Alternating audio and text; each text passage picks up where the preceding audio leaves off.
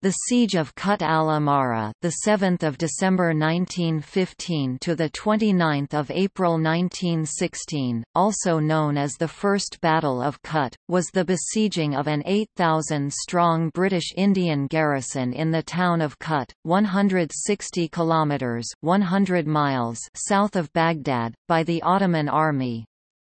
In 1915 its population was around 6,500. Following the surrender of the garrison on 29 April 1916, the survivors of the siege were marched to imprisonment at Aleppo, during which many died.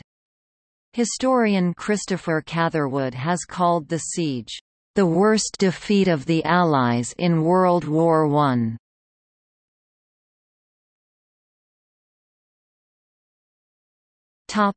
Prelude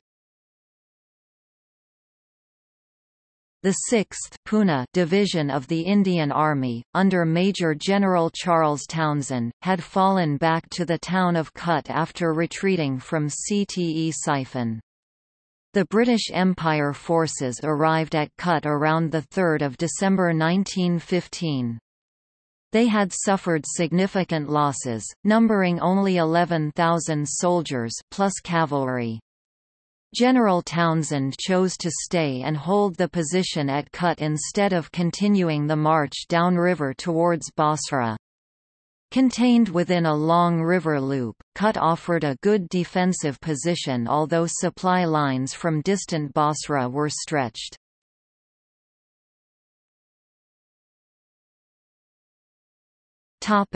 The siege The pursuing Ottoman forces under Halil Pasha arrived on 7 December 1915. Once it became clear the Ottomans had enough forces to lay siege to Kut, Townshend ordered his cavalry to escape south, which it did, led by Lieutenant Colonel Gerard Leachman, the Ottoman forces numbered around 11,000 men and were increasing steadily with additional reinforcements arriving constantly. They were commanded by the respected but elderly German general and military historian Baron von der Goltz. Goltz knew the Ottoman army well, as he had spent 12 years working on modernizing it, from 1883 to 1895. After three attacks in December, Goltz directed the building of siege fortifications facing Kut. He prepared for an attack from Basra, using the Tigris River, by building defensive positions further down the river designed to cut off a river-borne relief. After a month of siege, Townshend wanted to break out and withdraw southwards but his commander, General Sir John Nixon saw value in tying down the Ottoman forces in a siege. Nixon ordered transports from London, but none had arrived. The War Office was in the process of reorganising military command, previously the orders had come from the Viceroy and India Office. However, when Townshend—inaccurately, reported that only one month of food remained, a rescue force was hastily raised. It is not clear why Townshend reported he only had enough food for one month when he actually had food for more than four months although at a reduced level, but Townshend would not attempt an infantry retreat unprotected through hostile tribal lands without river transport. Nixon had ordered this with reinforcements, commanded by his son, but by December they were still only in the Suez Canal. The confusing communications would prove a critical delay. Medical facilities in Kut were headed by Major General Patrick Hehir.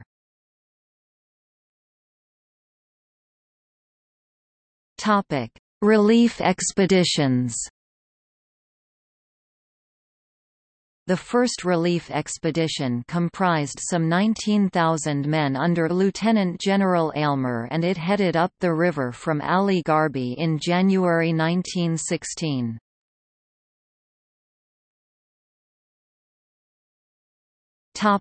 Battle of Sheikh Saad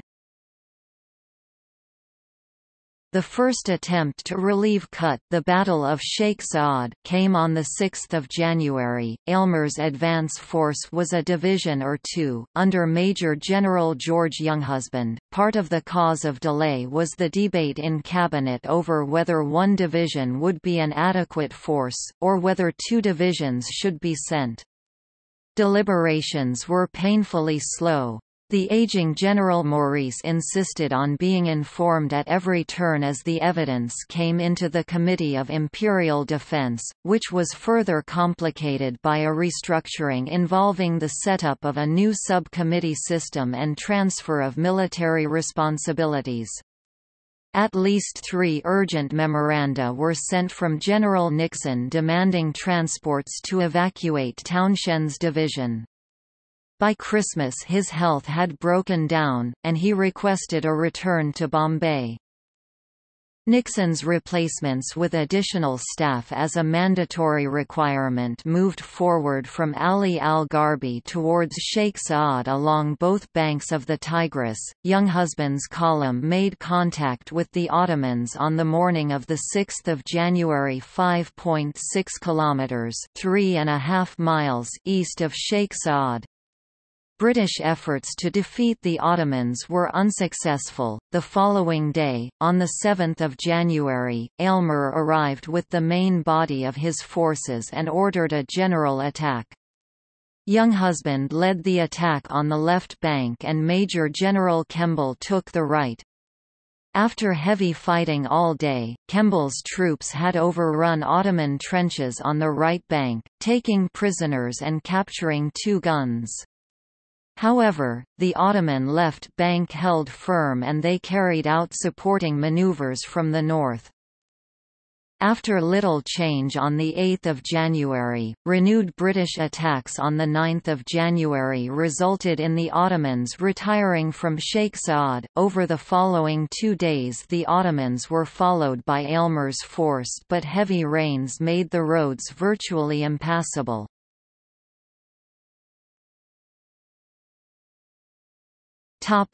Battle of Wadi The Ottomans retreated for about 16 kilometers 10 miles from Sheikh Saad to a tributary of the Tigris on the left bank known by the Arabic toponym simply as the Wadi meaning the river valley.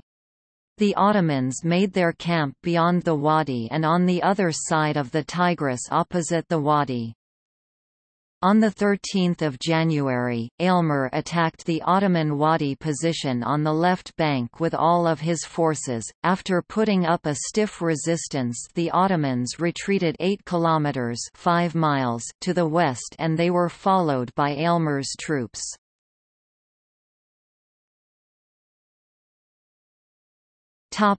Battle of Hanna the Ottomans then made their camp upstream of the wadi at the Hanna defile, a narrow strip of dry land between the Tigris and the Suwaykiya marshes. British losses at the Battle of Hanna amounted to 2,700 killed and wounded, which was disastrous for the garrison in Kut.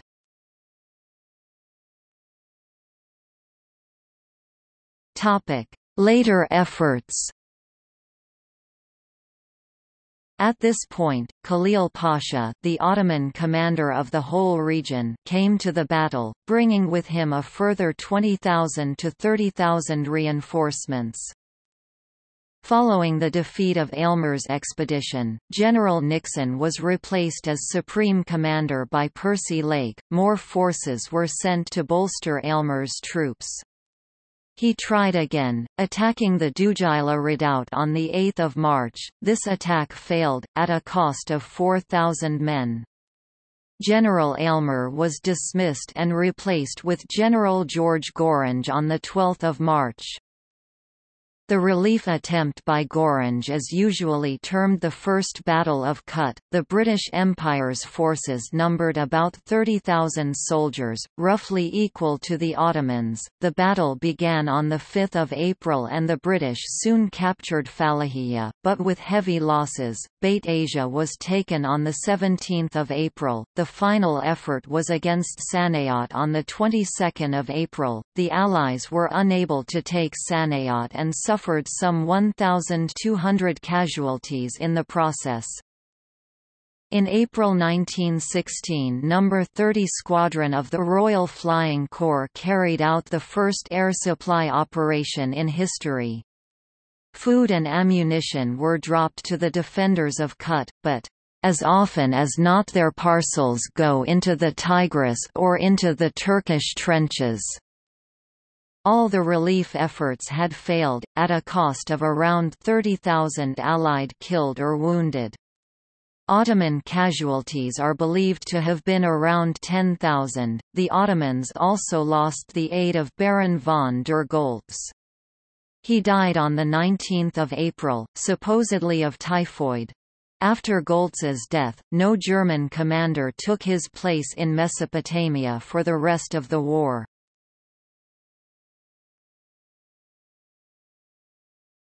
Topic: Surrender of the British Army. British leaders attempted to buy their troops out. Aubrey Herbert and T. E. Lawrence were part of a team of officers sent to negotiate a secret deal with the Ottomans. The British offered £2 million equivalent to £150 million in 2016 and promised they would not fight the Ottomans again, in exchange for Townshend's troops. Enver Pasha ordered that this offer be rejected. The British also asked for help from the Russians. General Baratov, with his largely Cossack force of 20,000, was in Persia at the time.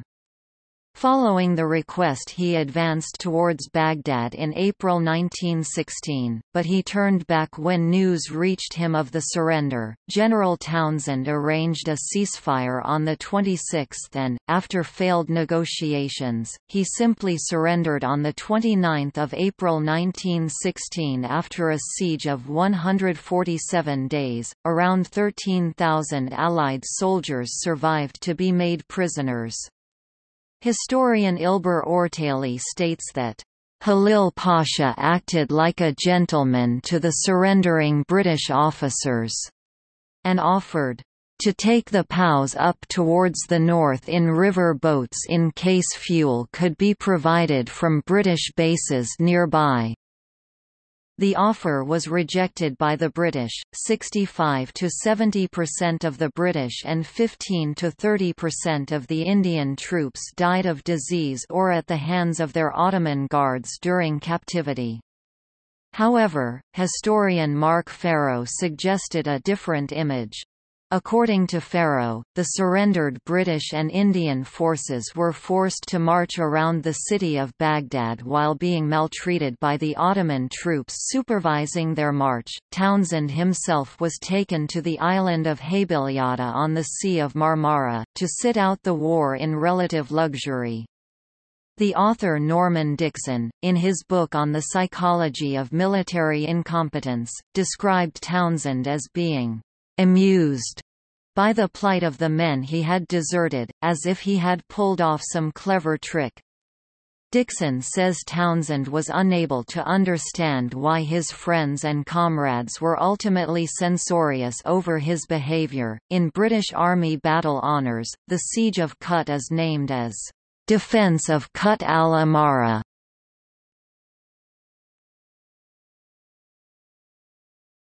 Topic: Aftermath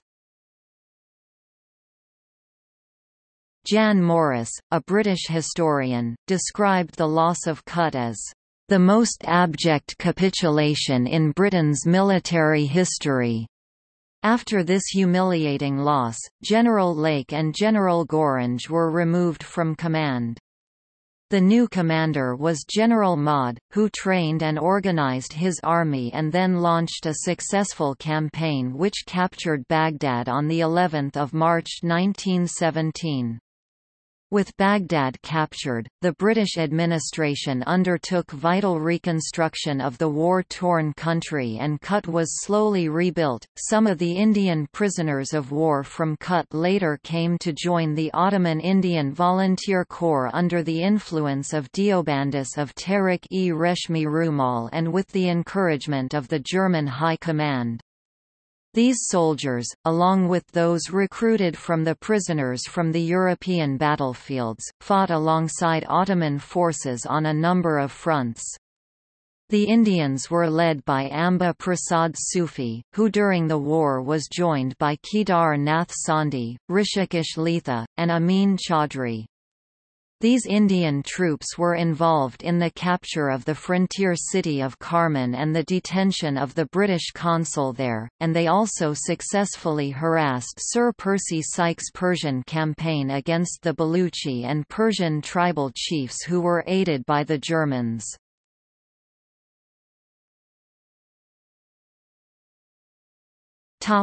See also Second Battle of Kut, which took place on 23 February 1917